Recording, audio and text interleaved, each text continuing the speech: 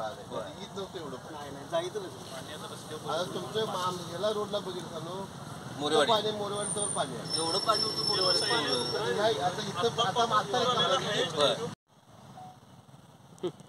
आज रोजी जो सर्वे चालला आहे त्यापूर्वी पंधरा ते दहा ते पंधरा दिवस पाणी आमच्या ऊसामध्ये आहे.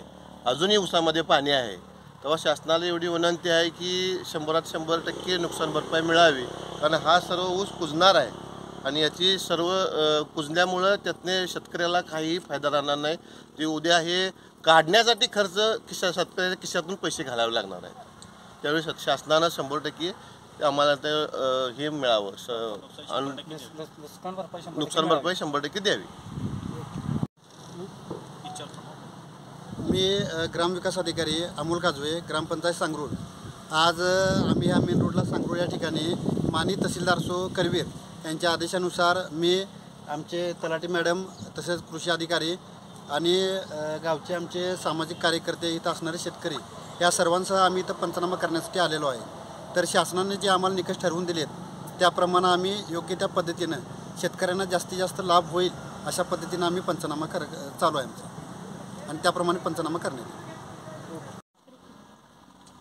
कोल्हापूर ते गगनबावडा जो नवीन रस्ता झालेला आहे त्या रस्त्यामुळं जे यावेळी जो पूर आलेला आहे त्याचं पाण्याची तुंबी ही बरीच दिवस राहिली. इथून मागेही बरेच वेळा पूर आला. दोन हजार एकोणीस दोन हजार एकवीसला जे पूर आला त्यावेळी कसं झालं रस्त्यावर पाणी खूप आलं. पण उतरलं देखील लवकर. दोन ते तीन दिवसात पाणी पात्रात गेलं. पण आज जो पूर आला दोन हजार चोवीसला याचं पाणी बरोबर वीस ते बावीस दिवस पाणी शेतामध्ये तसंच बुडून राहिलं. त्यामुळे झालेला नाही आणि अजूनही पाणी आहे.